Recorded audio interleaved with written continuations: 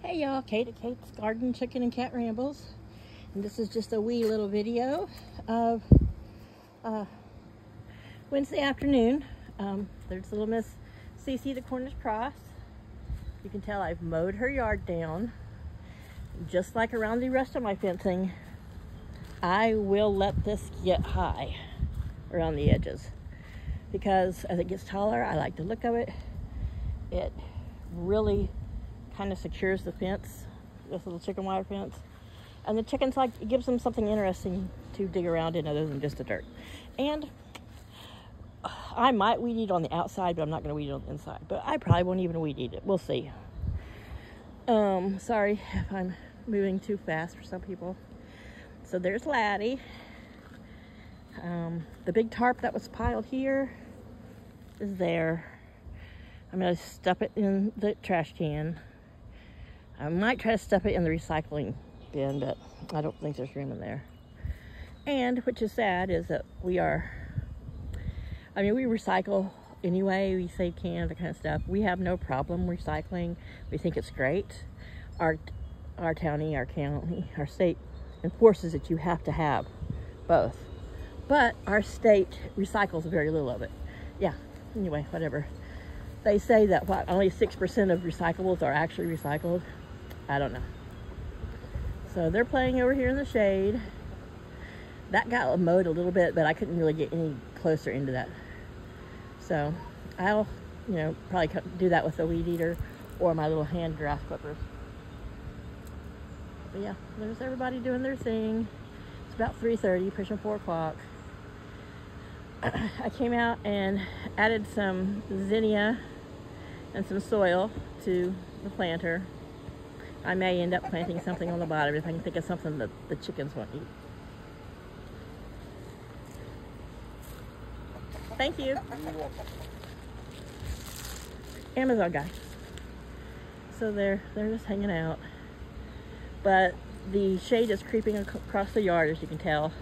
I came out earlier and there it was a little bit cooler and it seemed like maybe it was going to cloud up but today was supposed to be cooler uh, cloudy with showers you see any clouds? Where's the cloud? Do you see a cloud? I don't see a cloud. Oh I see contrail. Does any oh okay. Oh, oh there's a cloud. There's a couple little ones off this way. Okay I lied. So there are clouds but I don't think they're going to show us any action. At least not until it's the sun's down or later and um, so I use my little electric Ryobi mower and it is, it works great. I had it set at two and a half. Might have been at three, but I think I had it set at, it might have been right at three because I didn't want to go too short because, you know, out there I did everything at two and a half to three, depending on where I was in the yard. And you can see just we need some rain. It's kind of browny, but if it's, I noticed that we got that area back there had slowed down. That's fine with me. Look, if Paul stopped hitting my maple tree, it's looking great. And I'm trying to move slow. And look how pretty the Norwegian spruce looks when it's getting its new cones and, and, and extensions. So I'm pretty sure all those little clusters are going to be cones. I might be wrong, it could be new growth, but I believe that's supposed to be cones. I'll have to look it up.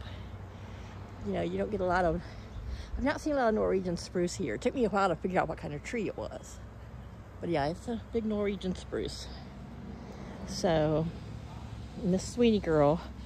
So like I said, when I was mowing, I picked up all the sticks and cones, but she was back under there. And I mean, though I wasn't getting near any of this, I didn't want something to fly out or I miss a stick.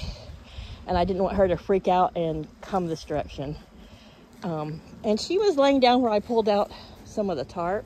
So it was kind of a damp, buggy area. I picked her up, she had a roly-poly crawling on her. You're supposed to eat them, sister.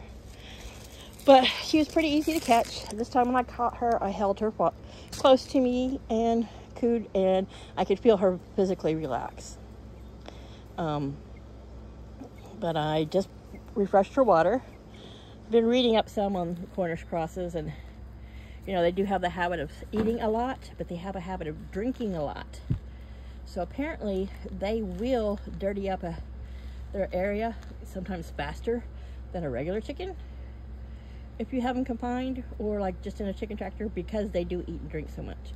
Now, of course, she's nibbled a few bugs and I haven't put her out on the short grass. I will in the morning when it's cooler or maybe this evening. I threw some, I cleaned her coop and threw some extra of the rose scented uh, pink bedding in there because it's really soft and fluffy and that's, she likes to sit in that corner. I lowered this side so that her water's in shade, but I her water yesterday, this morning when I came out, she was almost empty. And I was like, I filled that last night. Well, it turned out right there, kind of where the base, the top screws into the base, there was a crack. So I think a lot of it was leaking.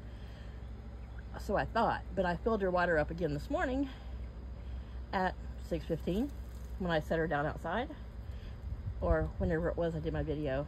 Maybe it was 10. And I just had to refill it. It was just down to um, dregs. And that was a, I could hear that one. That was an icky squirty poo. Like I said, I do drink a lot. Um, I'm, Paul and I have decided we are going to make her a little coop underneath if she survives. But she hasn't been here a week yet. Two more days will be a week. Once she has been here at least a couple, and I, you know, I'm going to, I have decided I'm going to bring the rabbit.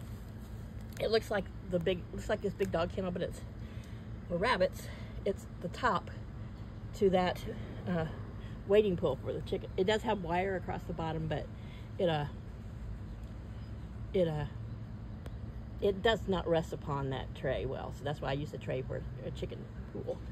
So this is kind of pulled out because I pulled, tried to get it out the other day, but I am going to uh, that straw out, at least what's on the pallet, and uh, I'm going to, that coop will fit down in there. I might have to like take it apart and reassemble it underneath there, but I told Paul what I planned on and he said it was a good, you know, he, he thought it was a good idea and nothing, ew, grossness. Look at this knot in this tree. Yeah. It's not, it's, it's half knot and half coagulated sap. Norwegian, this is all Norwegian spruce sap. Look at it there's a really wet spot. Look at that. Ew. So anyway, squirrel, squirrel distracted. So I'm going to wrap it in chicken wire and um, I'm going to cut a piece of that and I'll attach that over the top as a tarp. I'll attach it in a couple places so that it can't blow up or, or uh, whatever. Um, Cornish cross are too heavy, legs are too short, they don't roost well. So I won't have to worry about putting a roosting bar in there, but like I've said, the um, I'm gonna have the little door open over here so that she can, I want her to be able to come in and out by herself. She, she is not going to be able, even if, like I said in my other video, even if I change this, it's gonna take up too much room and that's still, I just don't think she's gonna be able to climb up there. I'm gonna try to keep her weight from ballooning, ballooning. I'm gonna regulate her feed and uh, once she's down and out and about, I'm hoping she'll be free ranging more. But I'm going to give her a certain amount of feed a day, measure out a certain amount, or maybe twice a day. I think it's like a quarter cup. And then she can forage for the rest. She's going to have plenty of bugs and ants and stuff around here. But, so I'm going to open, maybe that kennel also opens there. So if it's a rainy day or whatever, I can just step under there, under that, that wing wall and tend to her and check her and she can come out and about. So if it's a bad day, she could still get out of her little, her little uh, mini coop and come out here and wander around in bad weather, or she can just come out and stay here where she'll be, you know, out of the weather, stay underneath there.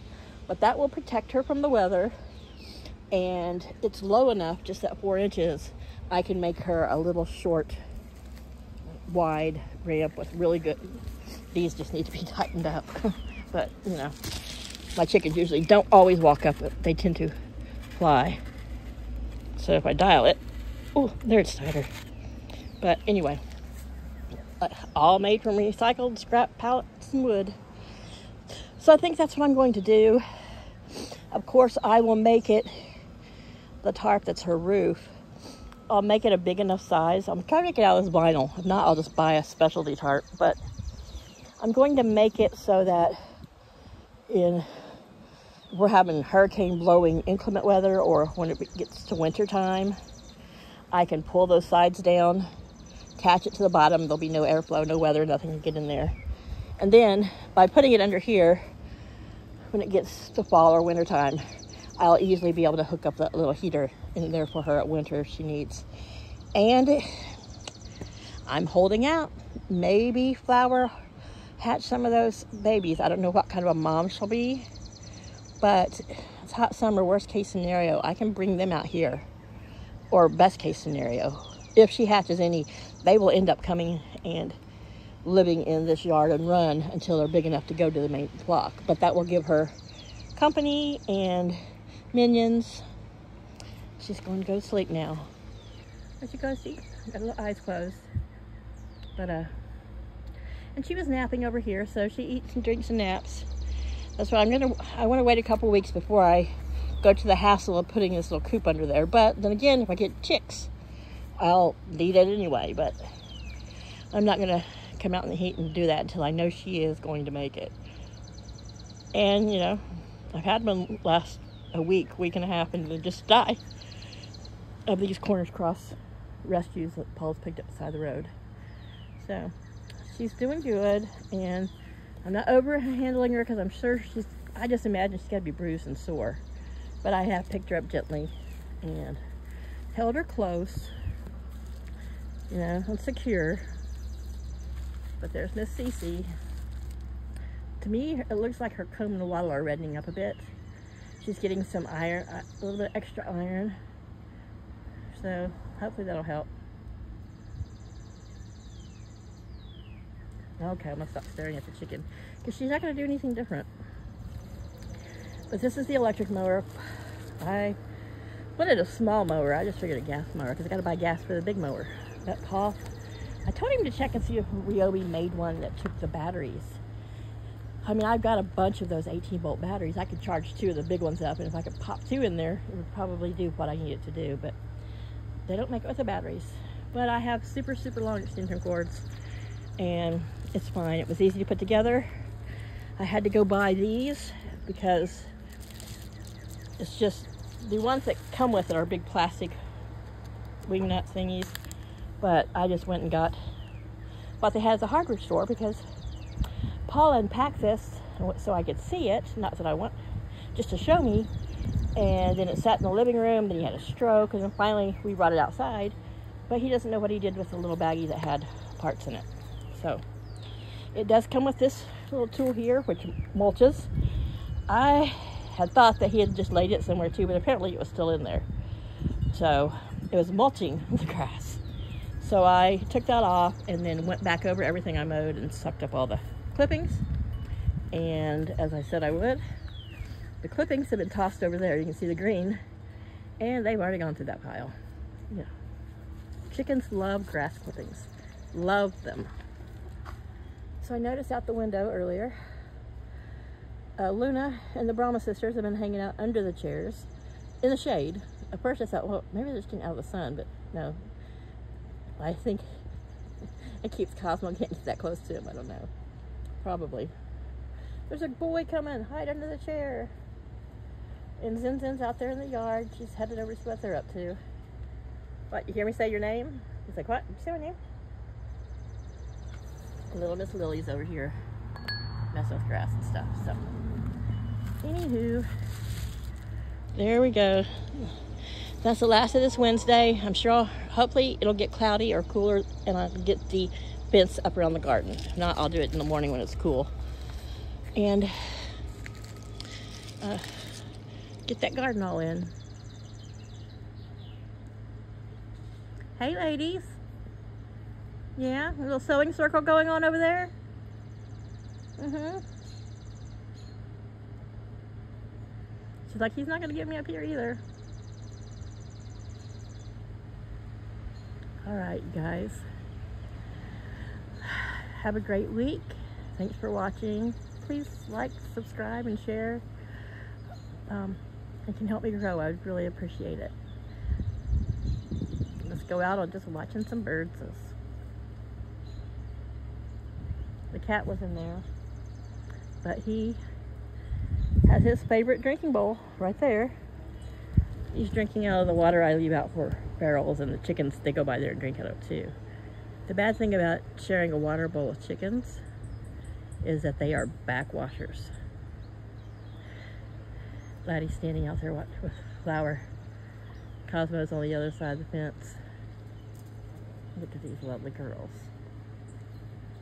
It's the Easter egg on top, Zin Zin, short for zinnia. The second, the younger group of chickens all had flower names. The first group had all Celtic names.